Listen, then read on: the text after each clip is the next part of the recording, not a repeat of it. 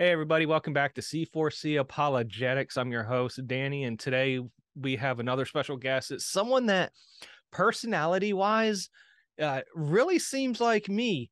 Uh, I don't want to say a little older. You might be like five years older than me, but I really like this guy's personality. I've heard him speak in person, I've listened to him, I've read his works, and I just like well, you'll find out why. Uh, you'll find out why in this interview. Great guy. He's the academic dean and professor of theology at Grace School of Theology. And so, if you're looking for a university, a college, a seminary, a biblical school to go to uh, for different degree programs, go ahead and check them out. I know a couple people that are actually currently enrolled in the Grace School of Theology. Excellent free grace seminary and college. So, uh, we have today Dr. Fred Chay. And so, uh, Fred, just thank you for being with us. Could you elaborate just a little bit? Anything about yourself, who you are, what you do, hobbies? Uh, could you just let our people know who you are? Well, Dan, it is a joy to be here. Um, glad to be back. And um, yeah, I'm I'm uh, married. I've got two grown children and one grandchild. I've been uh, teaching in seminaries for the last 30 years or so. And before that, I was a pastor. So I've kind of worked on both sides of that. And way before that, in the dark ages, I uh, used to work in the San Francisco probation department. So I think I have a feel for what we call human depravity. Yeah. So, uh, anyway, so pastor, seminary professor, family guy. Hobbies, I don't really have too many hobbies, um, but I try to root for football, and I used to root for Alabama, but what the heck? you talk about you don't have any hobbies. I see a lot of books behind you right now. well, that's reading. that's not a hobby. it's work. It's fun for me. so let me ask you this question real quick. Uh, you, you, mentioned you're a pastor. You were a pastor, and you've been uh, teaching for thirty uh, some years is there a difference really between teaching and preaching within a in a church setting as a pastor and teaching in a university professor setting? I think so. I think in preaching, you usually are trying to keep the, the, the main point the main point, and you're focused on the big idea. Mm-hmm. Dr. Haddon Robinson used to teach homiletics, and he say you want to focus on the big idea. Mm-hmm. Number two, I think you want to bring some passion to that discussion because you're trying to motivate and move people in a direction. Right. Now, in teaching, I think you might cover broader a broader spectrum. You probably want to give more options and help people become educated, not indoctrinated, and mm-hmm. help them understand the full range of, op- of options that are available on the topic. You you still can be passionate, right. but you probably are spending a little more time on the logical reasonableness of arguments as you mm-hmm. make information known to people but they're connected for me at least. Yeah. Would there be a difference between teaching in a church as a pastor and teaching in the college? For me, no. The only difference is the people I teach in our Sunday school class, they don't get an exam at the end. but they they are they are seeing and listening to a lot of the same material. Yeah. I might not use as much language material because they don't have the background for that. Mm-hmm. But other than that, they're they're getting a pretty high, you know, a very similar lecture, yeah. a similar handout. Uh, they just don't have to take an exam. They don't have to know Greek. Okay, uh, that makes sense. But um, I expect I expect more from teachers in the church. Yeah. What do you expect more of? I expect us to speak more relevantly, more deeply, more theologically. Uh, my fear is that the local church has watered everything down because they want to make sure everybody's happy. So we need to make sure we have a fog machine and we need to bring out the Christian dancing bears and the jugglers for Jesus and yeah. make everybody happy. My job isn't to make anybody happy. It's to help inform them with the importance of the Word of God and let the mm-hmm. Spirit of God illuminate truth to them that they might be a different person. Amen. Ladies and gentlemen, when I said that I like his personality and we're very similar, this is what I'm talking about. There's a passion, there's a desire for truth and explaining truth and exegeting the truth, the relevance in the culture, and not turn into this emergent church, this progressive church, or this just seeker sensitive movement. It's all about if this is the special revelation of God and it's all truth, we need to be well to articulate it, to know it, to defend it, and to just equip others with it. And so, yeah, I love that about you, Dr. Chay. Well, today we're going to be talking a little bit about free grace theology and really how can we engage people within for free grace theology and explain a little bit. But before we actually get into the meat of the interview, Could you let us know how did you personally get involved in what's known as free grace theology? Well, that's an interesting story. I became a Christian and started listening to Dr. Ray Stedman and mm-hmm. Dr. John MacArthur. And I oh, listened yeah. and knew both of them and listened to them and believed everything they said. And in fact, I had the opportunity to go to seminary. I was going to Fuller Seminary and realized it was a little bit, um, shall we say, moving in a more liberal perspective. So I ended up going to Dallas Seminary. And at that time, I totally held to lordship salvation because that's what John MacArthur held to. And how and many I, years ago was that?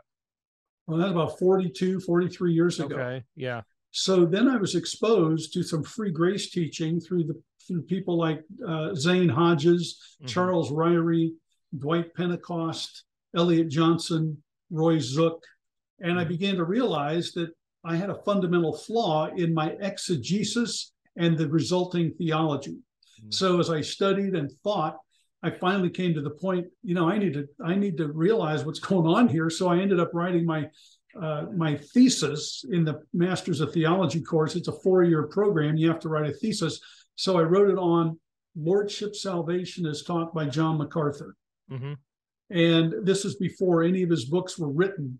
And I had known him and I'd interviewed him numbers of times. So this is really an important issue to me. And so I finally wrote that. And Dr. Um, Craig Glickman and Zane Hodges were my readers. Mm-hmm. And I, I really kind of turned towards a free grace perspective. And that just kind of continued over the years as I read and thought and taught and and um, hadn't changed. Now, from from what I remember, when you spoke at the Octo- October Free Grace Alliance conference as a plenary speaker, you made mention that, like you just said, MacArthur hadn't written any books yet, right? Right. But did John MacArthur get an idea to write a book about something? Oh yeah, I remember he he and I are having breakfast uh, in Dallas. He was there for the Christian Booksellers Convention, and we got together for breakfast. And so he was very kind and gracious with his time with me over the years.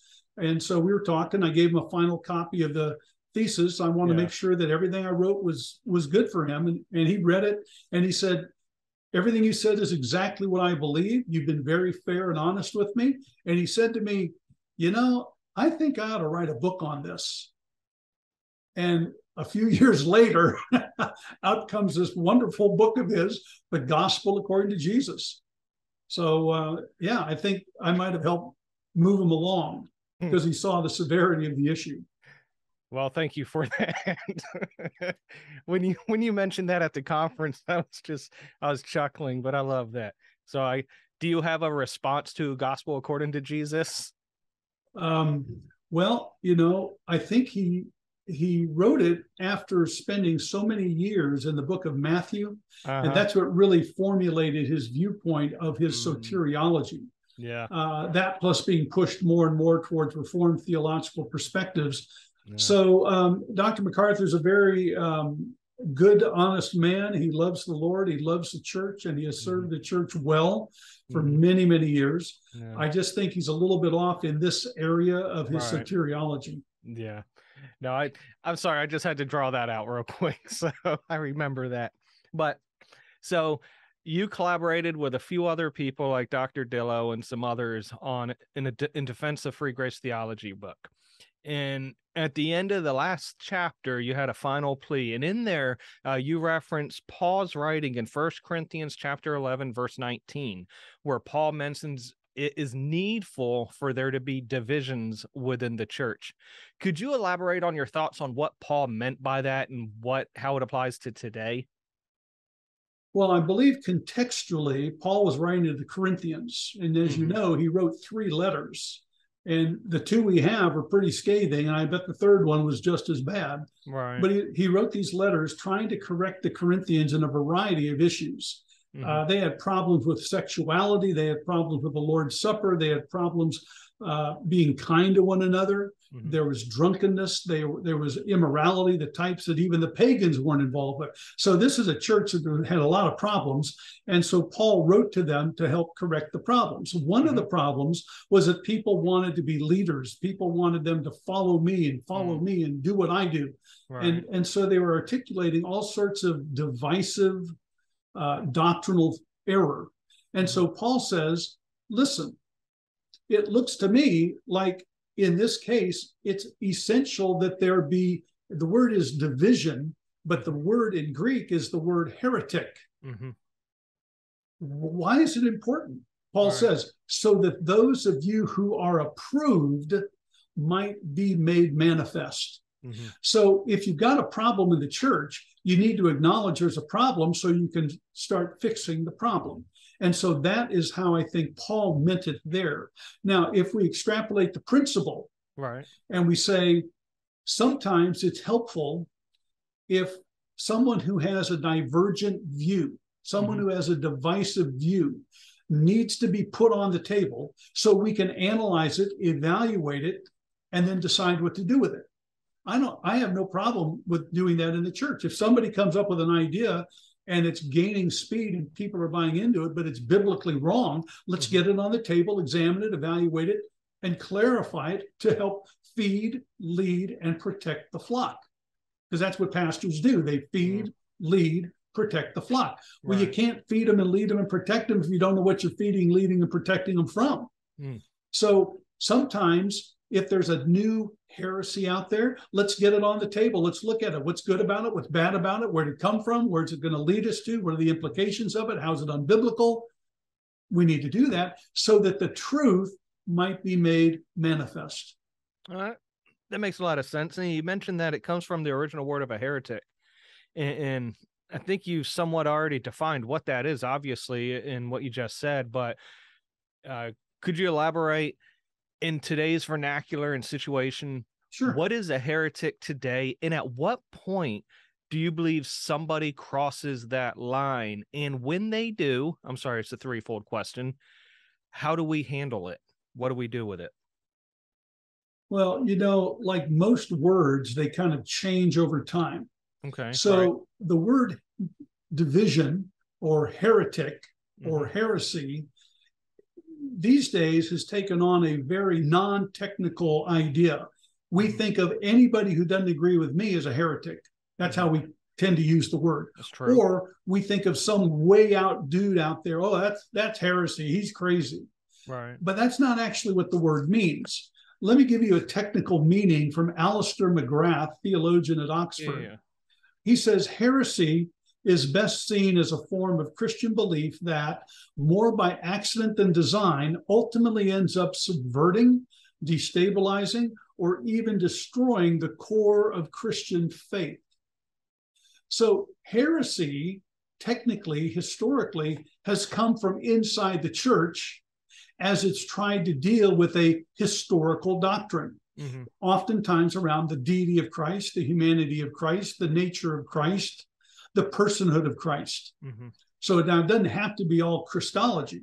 But in the early days of the church, that's what they fought over. But the heretic came from inside the church trying to explain orthodoxy, but they explained it in an unorthodox way. Mm-hmm. What did the early church do?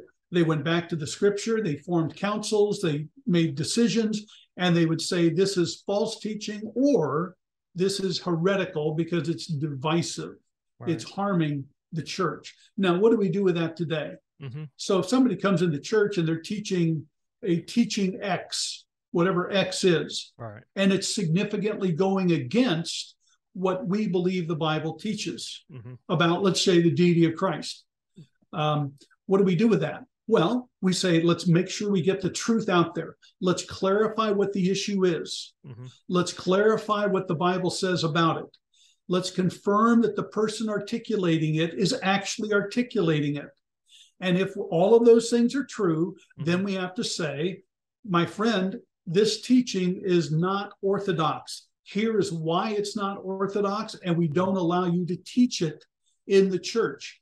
We don't allow you to be a teacher in the right. church. And so, if what they're teaching goes against your doctrinal statement, if what they're teaching is harmful to the spiritual lives of the people, I think at that point you ask them to leave. No. Okay. Uh,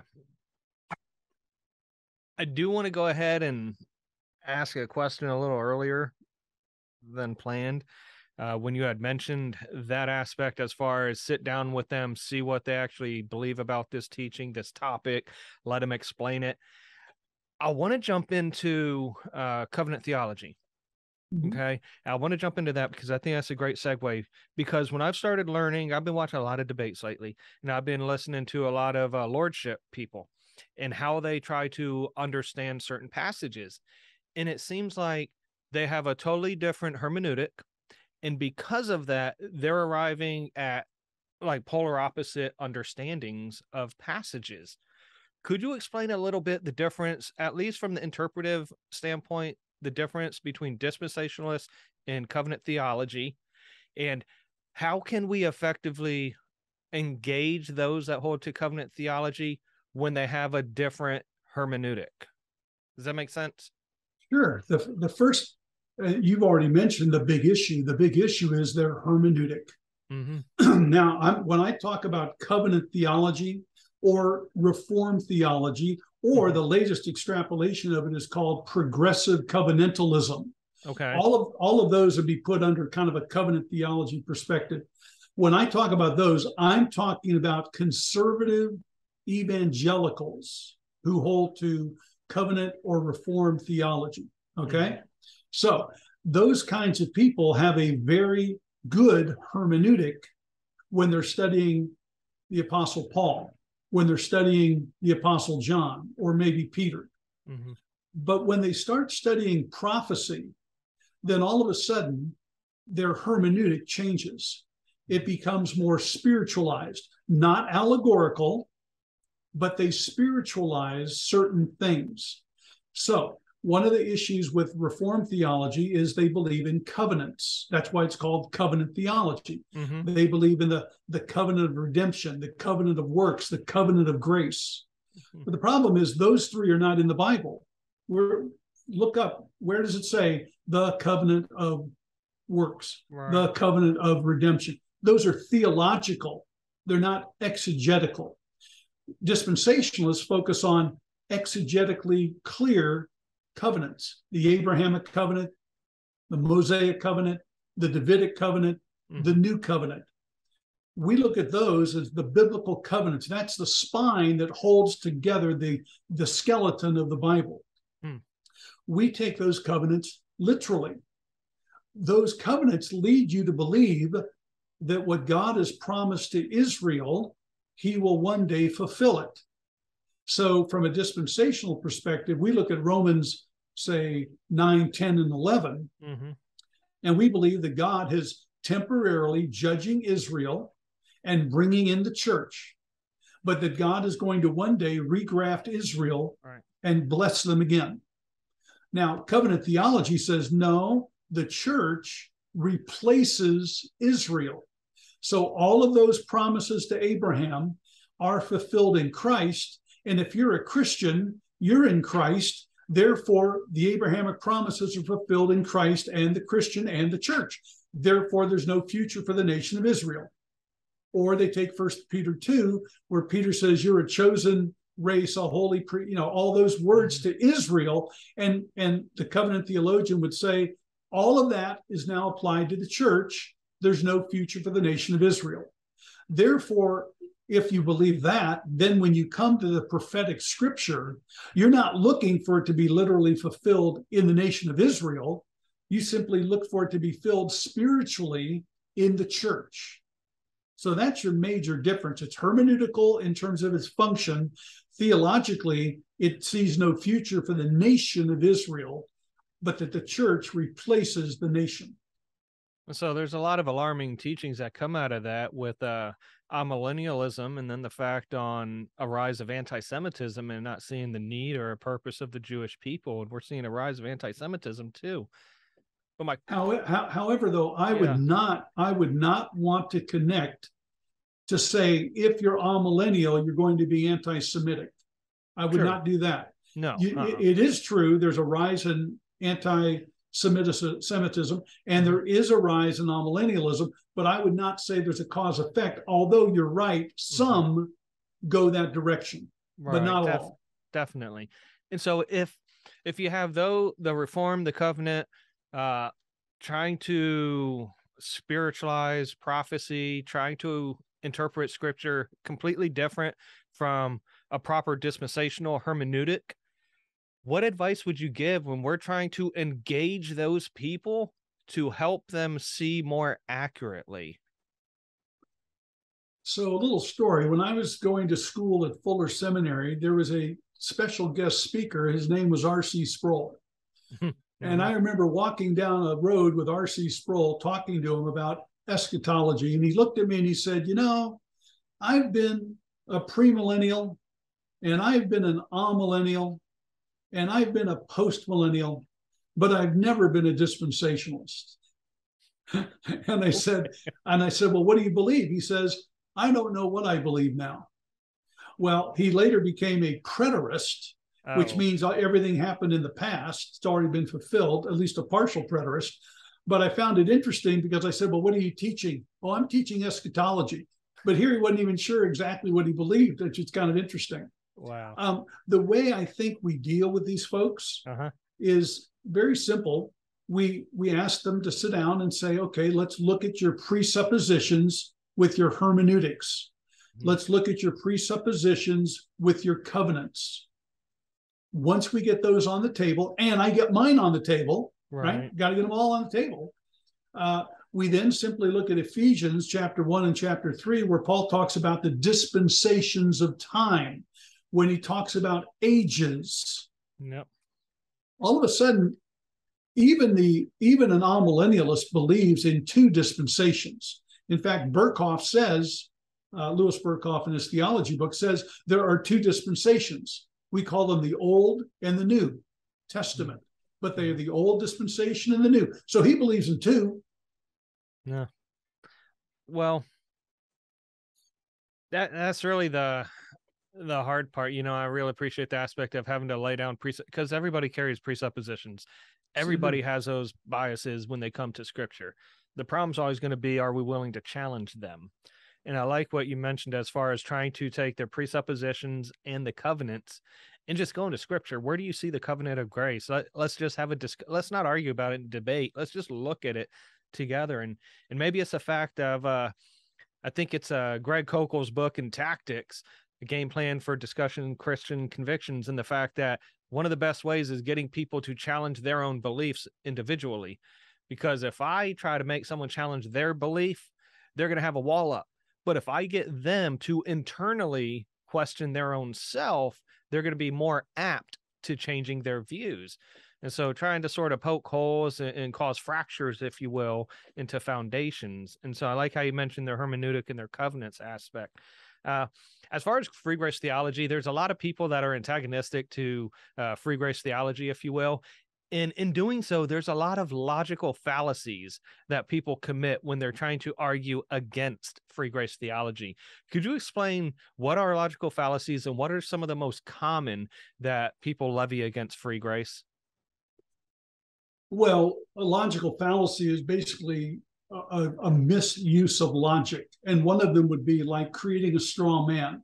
And that would be like saying, oh, well, you in free grace don't believe in holiness, you don't believe in dealing with sin, and you're not serious about walking with God. I, and I would say, where did you hear that? Right. You certainly didn't hear that from one of the 500 books that I've read by free mm-hmm. grace people. Well, that's what they created. It's a straw man some of the uh, logical fallacies also just have to do with the idea that, well, free grace theology is new, therefore it's wrong. Well, wait a minute. Reformed theology is relatively new, right? 500 years. So maybe it's wrong and Roman Catholicism is right. right. And they say, well, free grace theology, it started with Darby, right? Maybe in 19, um, 1890s or whatever. No, mm-hmm. it started with Paul, actually, but yeah. and Jesus. But apart from that, um, they they would say, well, nobody else has ever interpreted the Bible this way, therefore it's probably not correct. I remember in a very good book by D.A. Carson called mm-hmm. Exegetical Fallacies. The book is very, very helpful. But one of the statements he said when he was writing about Zane Hodges and Hodges' interpretation of James chapter 2, he said, Hodges is probably wrong just because nobody else ever thought of this. Now, number one, that's not that's a logical fallacy in and of itself. That's an mm-hmm. exegetical fallacy. And number two it's a historical fallacy because hodges isn't the first one to have thought of this. Yeah. so dr carson did not do his homework historically and he's he's actually committing an exegetical fallacy while he writes a book about exegetical fallacies which is somewhat kind of interesting. That's ironic. Very ironic so uh, those are some of the problems I think we find in terms of a fallacy. Um, the other one is, well, you guys in the free grace movement, your books aren't published by Zondervan or Eerdmans, so yeah. they're not scholarly. Right. Okay, well, they may not be scholarly, but not being published by Zondervan doesn't mean they're not scholarly. I mean, Wayne Grudem once said to me that our books are not good because they haven't had peer review and they're not published by a major publisher. Well, Zondervan actually published Zane Hodges' book absolutely free. Mm. That's a major publisher. But I mean, so I understand Dr. Grudem's point. Yes, you want peer review, you want some editors looking through it. Mm-hmm. However, we have published some books that are actually pretty high level. But I guess that's a subjective decision. But those are the examples of, of uh, fallacies that people make in arguing against free grace theology, I think. So, with, with people that are antagonistic to free grace theology, h- how can we be used to reach them for the message? Well, I think you pray. I've been praying for Dr. MacArthur and Dr. Grudem for many, many years. I think you prepare, you do your homework, you learn, you read, you mm-hmm. think, you evaluate, and then you proceed. And depending on the open doors that you have, you proceed. For me, I got to proceed by talking with Dr. MacArthur. I got to proceed by talking with Dr. Grudem, teaching with him and talking with him for 10 years about these issues. I got to proceed by writing books, editing books about this, or speaking to it. Other people, they write books and they take the opportunity that they get. So you pray, you do your preparation, mm-hmm. and then you proceed with the opportunities that the Lord gets gives you. Um, let's face it, not everybody's going to change their mind. Right. And the more you write and the more famous you are, the more difficult it is to change your mind because you'll look foolish. People don't want to look foolish. That's true. I have to ask you, are you a Baptist? Because you just had a three point outline right there. I am not a Baptist. I've never been a Baptist. I've always been a Bible church guy. oh, there we go. Bible but I know some Baptists, and David Allen's a great preacher, and he uses three point outlines. Well, now you know a second Baptist right here. So there we go. At least in denominational name. But, there we go. No, I, I, I do appreciate that. Uh, could you explain? Okay, so say within the church we have younger, newer believers. They're trying to understand theology what role would you say free grace theology and its tenets plays within discipleship and discipling a new convert? Yeah, I think there is a theological clarification and classification that has to be communicated to young Christians. Okay. And probably to old Christians too, unfortunately. But it's this there is a fundamental distinction between justification and sanctification there is a fundamental distinction between the establishing of a relationship with Jesus mm-hmm. and experiencing fellowship with Jesus. There's a fundamental distinction between establishing my position in Christ and the condition that I live in as a Christian. Mm-hmm. Now, all three of those are those three categories, they're all saying the same thing. Theologically, what they're saying is, I am justified by faith and I am sanctified by faithfulness. Hmm. I don't work to earn justification, but I do good works to grow in my sanctification. Disciples need to understand that fundamental distinction. It is fundamental, it is foundational. And if you don't keep those two separated, then they get ever so closer and they get mixed. And if they get too mixed, you end up with the Roman Catholic Church. Mm. So you got to keep them separated. The Reform movement tends to bump them together. The Catholics bend them over. Mm-hmm. the Council of Trent makes it very clear you are saved by good works. If you don't believe that, you are anathema. Mm-hmm. The Reformed Church would never say that. They would say you're saved by faith alone, but the faith that saves is never alone. Right. Therefore, good works must be there, but they're not the ground of your justification. They're the evidence of your justification. And with that, you just destroyed any other any doctrine of assurance because now it's all predicated upon how well you live. Now that is hmm. important for discipleship of a young Christian because if they're examining their navel every day, going, Am I good enough? Have I done enough good works? Do I feel enough love for God? Right. Total subjectivity. No, no, no. Truly, truly, I say to you, he who believes in me has passed from death to life and will never come into judgment. Period. That's where my assurance is. It's in the words of Jesus. It's what he did for me, not what I do for him. Amen. Amen. there was one thing that we mentioned last night uh, when I was trying to give a message on the importance of why interpretation matters because in my my understanding and experience our interpretation drives our application. And our application influences our behavior. And so if we if we understand how to interpret correctly then we can apply correctly and it changes our behavior or allows us to act certain ways. And if we take a lordship salvation position then we're going to apply it to our life, examine ourselves, whether we're in the faith, like you were saying, and that's going to change my behavior psychologically. I'm going to be like, well, am I a Christian? Well, did this today, and you're never going to have that assurance. And so uh, I really appreciate your explanation on the difference between justification and sanctification and how marrying them two up can really damage somebody in their really in their psyche and their day-to-day living and their behavior uh, uh, let me recommend to your audience there's a book called Relationship and Fellowship, and it's by Dr. Dave Anderson. There's another book called Position and Condition, and it's by Dr. Dave Anderson. And both of these books look at those categories through different books in the Bible. There's a third book by Dr. Charlie Bing called Grace Disciple or Salvation Discipleship um, and it's it does the same thing, looking at different mm-hmm. biblical passages through the New Testament. All three of those books will be fabulous to deal with what I what I just said. All right, so we're going to have links to those books in the description below. Are they all free, uh, Grace Theology Press books? Uh, they are all Grace Theology Press books, and they're all available on Amazon. Okay, so we will link them there. I do want to ask a practical question. It really stems off of uh, your your message at the conference in October. So at the conference, you mentioned you had a concern about what I believe was a free grace pastor mm-hmm. who ended up having a, a very prominent lordship individual, not only in their church, but ending up, if I'm not mistaken, on their leadership team, on their board as an elder. Couple questions. Number one, could you explain why that's a problem?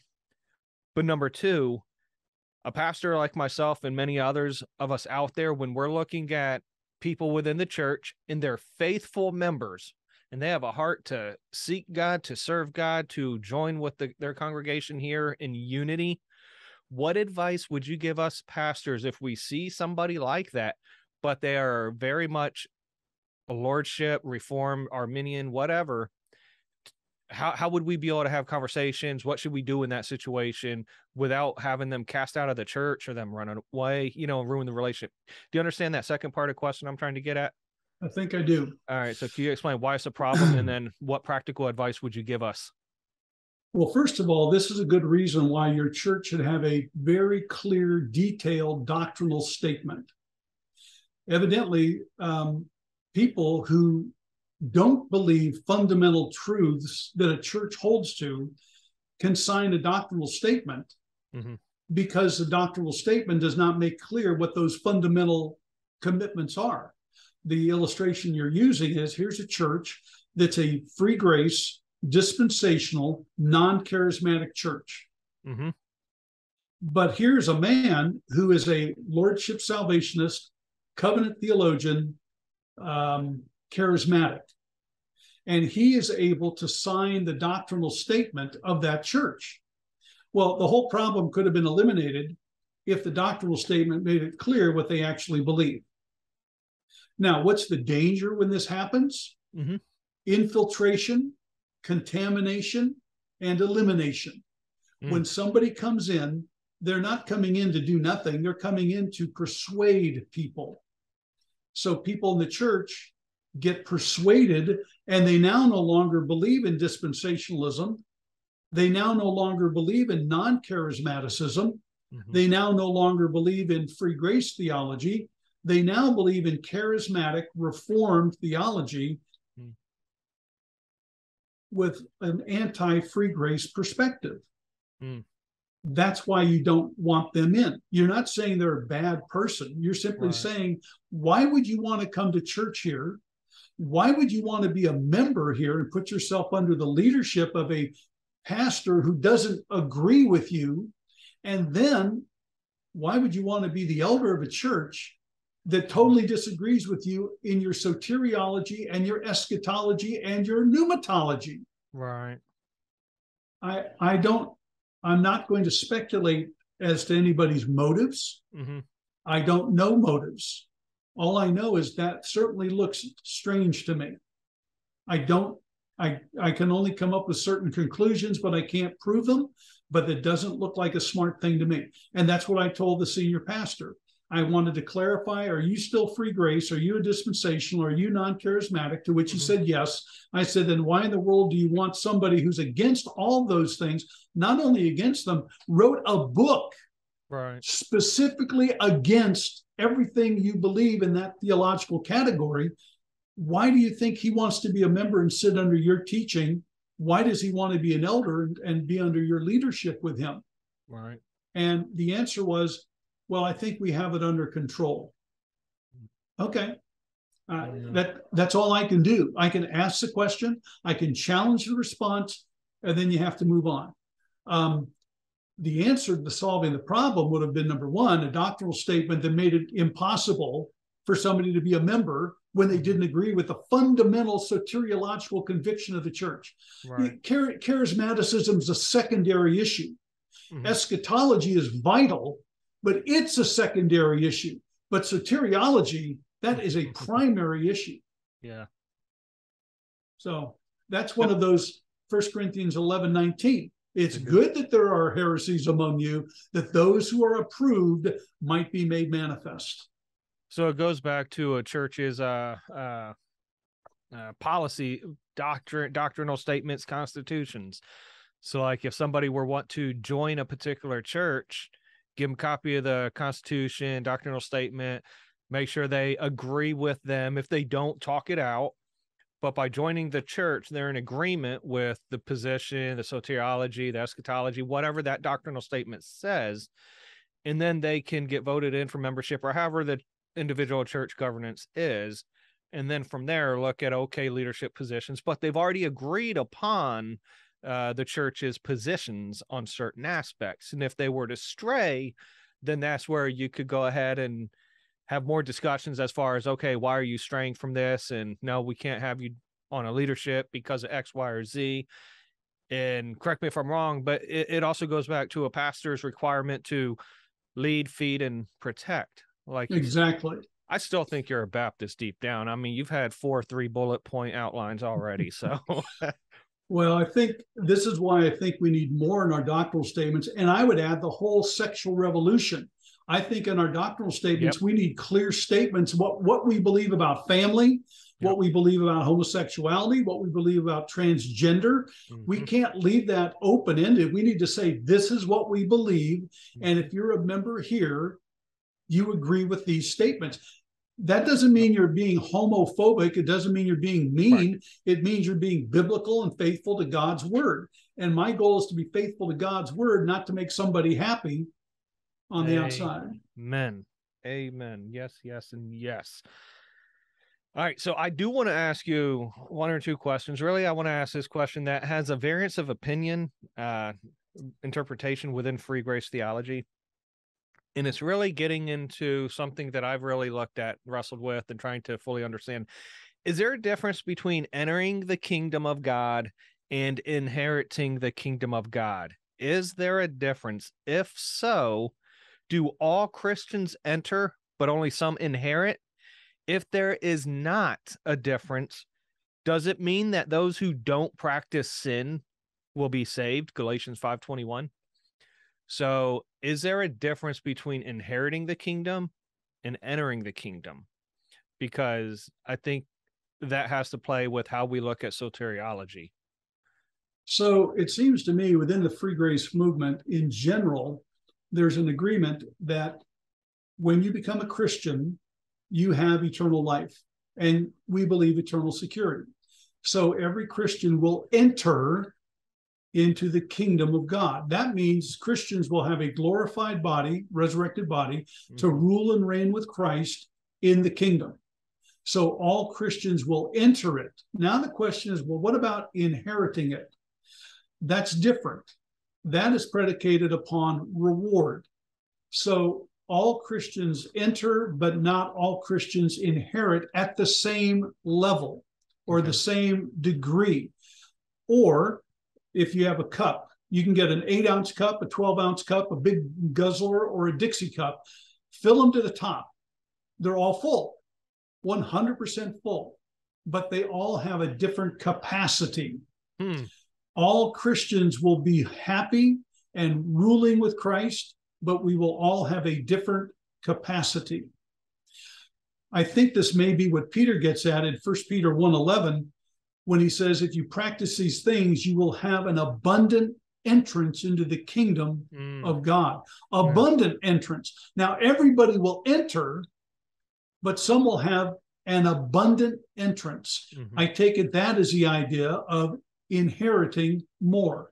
This would lead us then into Bema Seat theology mm-hmm. where at the Bema seat, First Corinthians 5 or Second Corinthians 5, 9, and 10, Romans 14, and then other places, we will stand before the Lord. He will evaluate our life and he will reward us and then give us a role in the kingdom.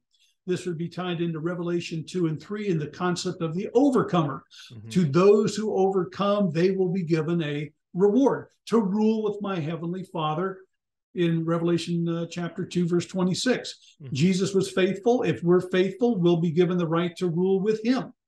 But that's only to those who overcome and are faithful. Not all Christians overcome. Not all Christians are faithful. Not every Christian became a martyr and died for their faith. There were plenty of cowards. Right. Paul talks about those who will stand before the Lord and all of their works are burned up all, even if that's a literary device, all, right. and yet they will be saved so as through fire. Now, there's three passages in Ephesians, Galatians, mm-hmm. and First Corinthians 6 that talk about where Paul, same author, talking to a Christian audience, mm-hmm. exhorting the audience and telling them that those who practice such behavior shall not inherit the kingdom of God. Mm-hmm. Now, if you're reformed, you say, aha, if a person who says they're a Christian practices these sins, that proves they're not a Christian and they go to hell. Arminian theology would say, no, no, there's a real Christian, but now they're practicing those sins. They lose their eternal life and they go to hell. But then the free grace side says, no, no, there's a real believer, but he's really sinning and he won't come away from it. And at the Bema seat, he will forfeit his reward. He will not inherit the kingdom as a Christian in a glorified body to serve Jesus. So that's the typical way we look at that inheritance and entrance differential.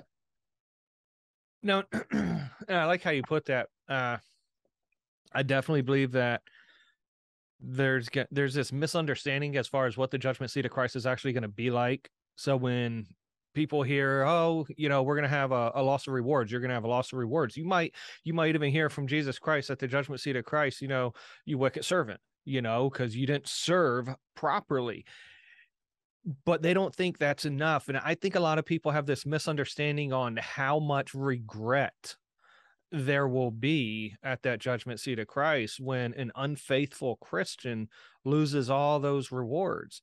And so I don't want to say that a Christian's going to live with condemnation forever. By no means do, is that what I want to say. But would you agree with me that there's this there's this lack of understanding the the the amount of importance of that judgment seat and how emotions will be tied into it. Do you know what I mean? I think I think there is a lack of understanding for that because we tend to think, oh no, there's no more tears. Right. Well, that's true, but not then. Thank you. That's not true then. That's true after the millennial kingdom. So in when you're looking at the Bema seat, some people say the law the, the sadness is simply the loss of reward, but you keep all the rewards you get mm-hmm. but you lose some. Okay. Others hold to what's called punitive damage. Mm-hmm. There's not only loss of reward, there is punishment mm-hmm. for your evil. The mm-hmm. third group is what's called kingdom exclusion.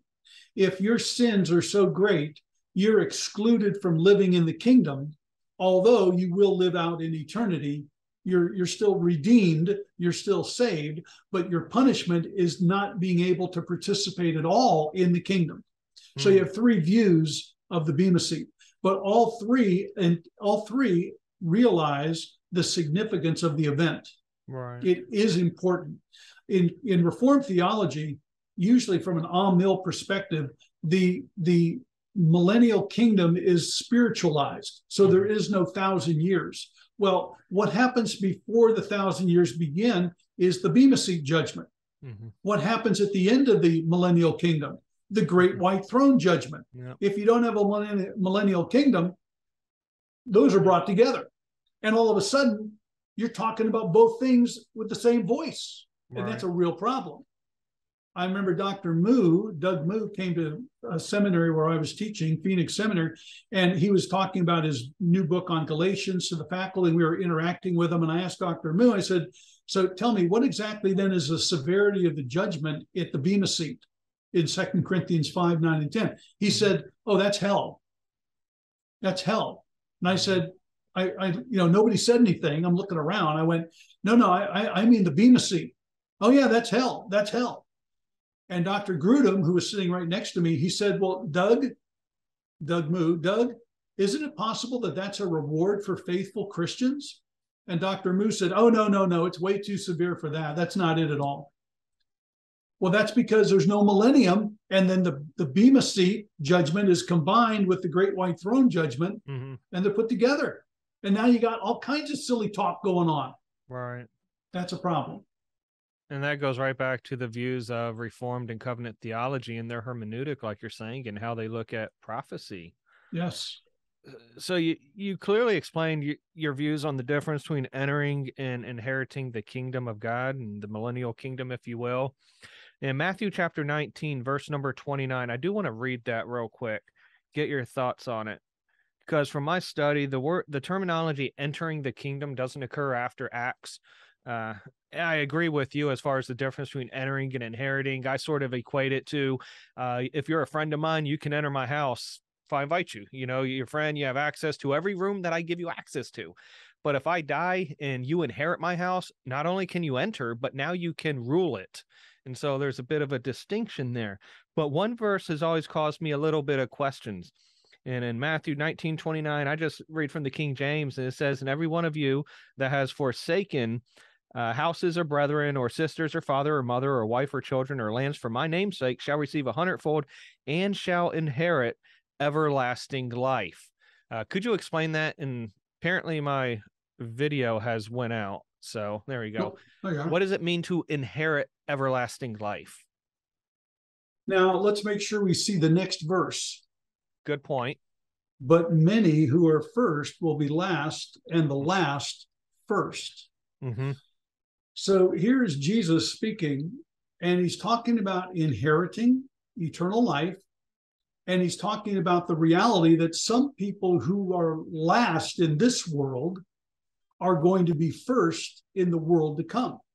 And those who are first in this world, the Pharisees, are going to be last in the world to come. Mm-hmm. So the question becomes what does it mean that you inherit eternal life? I thought you become a Christian by faith alone and that's it. Right. Well, let's re- let's remember eternal life can have both a qualitative and a quantitative element or aspect to it.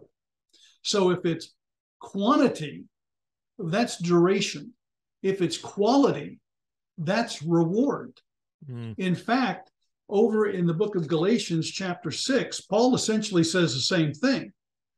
He says in verse 7, do not be mo- do not be deceived, God is not mocked, for what, wherever whatever a man sows, this he shall also reap. Right. For the one who sows to his own flesh shall from the flesh reap corruption, but the one who sows to the spirit shall from the spirit reap eternal life. Mm. He was just talking about the fruit of the spirit. Right. He's now talking about what you sow, you're going to receive from. Well, he says, reap eternal life. Yes, not in a durational period, but in a quality period. It's a quality issue.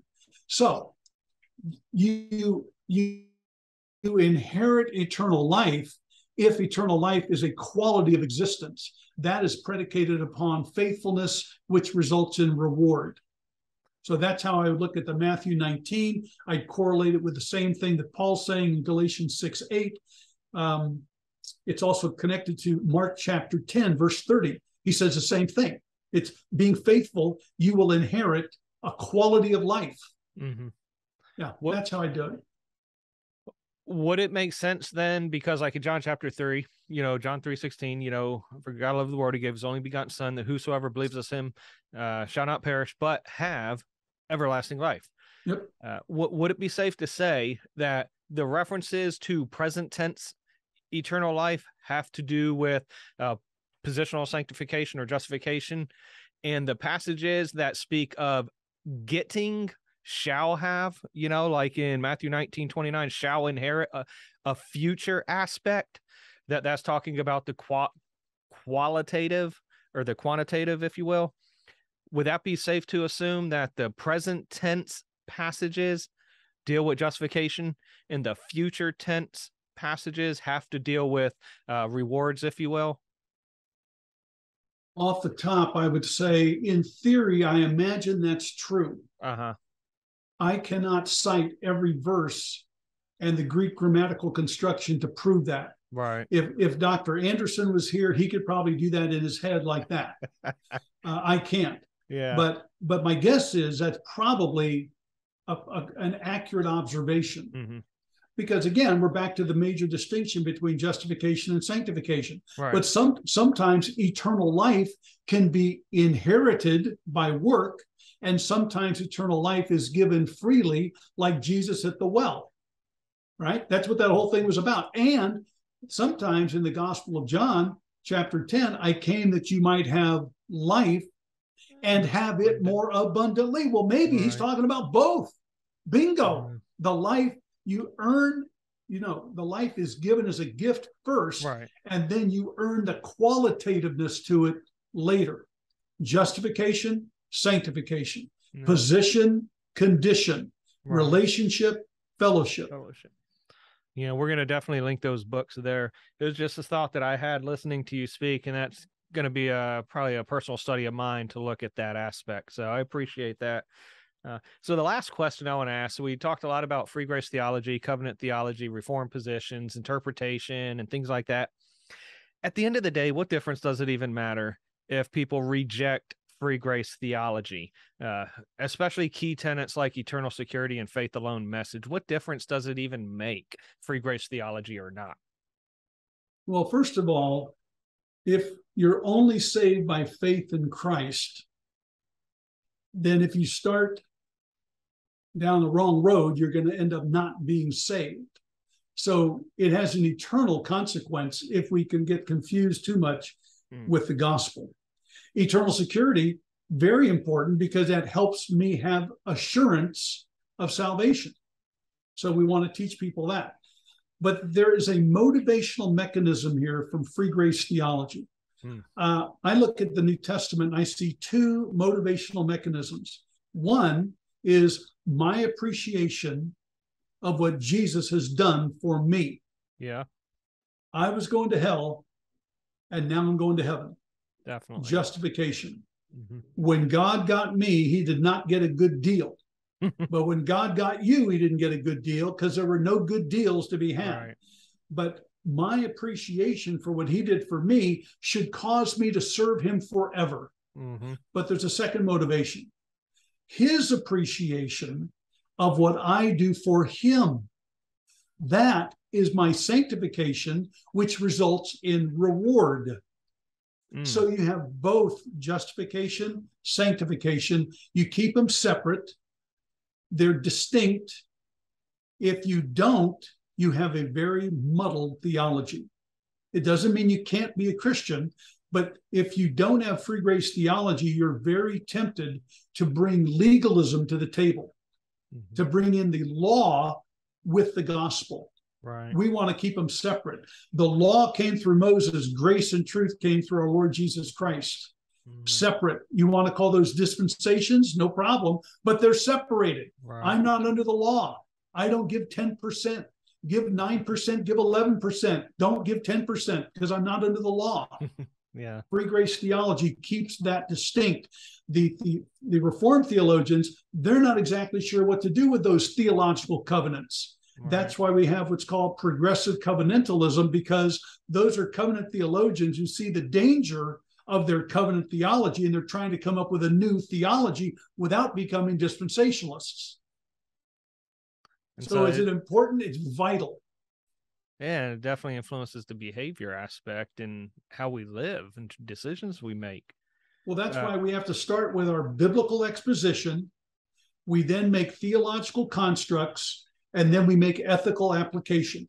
And as a pastor, that's what we do. We do all Yep. three. We teach, we do theology, we give ethical instruction. All three every week. We could call it interpretation application. I like the interpretation theologizing it and then the application. Okay. Yeah, that extra step in the middle that sort of marries the two. Uh, I'm gonna lie. I, I got one last question. It just came up in my head. And uh, why do you think there's so much disdain for free grace theology? I think some of my Reformed friends, well, I know um, because I asked one of them, I asked Dr. Grudem, I said, What do you see as the major problem with free grace theology? And he said, I'm afraid, Fred, that you are giving assurance to people who think they're Christians, but they're not. And I said, Well, in your system, that's not a problem because if God preordained everybody who's going to go to heaven and preordained everybody who's going to go to hell, and nobody can change anything because it's been decreed, then it really doesn't matter if I'm teaching them something wrong because they're still going to go to heaven if they're bound to go to heaven and they're going to go to hell, and there's nothing they can do about it. Right. So um, they don't like that idea. They think we believe in cheap grace. We don't believe in cheap grace. Well, We believe it cost the Son of God his life. We believe it cost the Father the giving of his Son. We believe all sorts of things.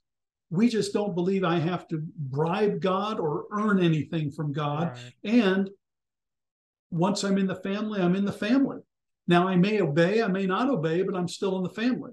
No. They're afraid that we are bringing forth a whole movement of what is called antinomianism against the law. Well, we are against the law. We don't live the law. I'm not under the law. I'm under the law of the gospel. I'm under the law of grace. I'm under the law of Christ. Let's talk about those laws. I'm all in. I'm all in.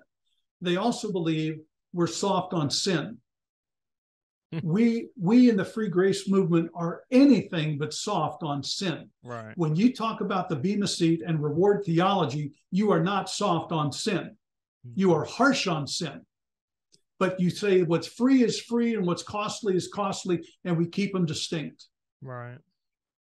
Excellent. I'm sorry. That, that was just a question that popped into my head right there. And I mean, That's an important question. That's an important question. Yeah, and I think that drives a lot of logical fallacies and straw man arguments and things like that. But so I appreciate your time today, Dr. Chay. And uh just as we close, is there any final thoughts you'd like to share? Any recommended recommended sources or anything before we close up? Well, if you're looking to go to school and you want some some good theology, come to Grace School of Theology. If you're looking for some books, go to Grace Theology Press.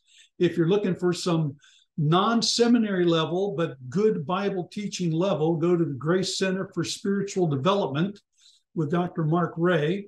So we have plenty of resources out there, but it does you no good unless you commit yourself and make the time to study to show yourself approved. Mm-hmm. And if you're a pastor listening to this, let me encourage you, let me exhort you that your job is to feed, lead, and protect the flock of God that He has given over to your care. So please make sure your theology is right. Make sure you have time to study to show yourself approved, because one day Jesus will be asking, Why did you do what you did? And you'll be wondering, Why didn't I listen to James 3? Yep. Let not many of you become teachers because you will incur a stricter judgment. Yeah, amen, amen. Well, again, I appreciate the time you spent with us, Chay, uh, uh, Dr. Fred Chay, and we're going to have links and descriptions in, in the description box there. And so uh, check them out and check out Grace Line, I believe it is as well, if I'm not sure. mistaken. Yep. And uh, we'll have it out there. So everybody else, like, comment, share, subscribe, blah, blah, blah. You know what to do. And until next time, God bless.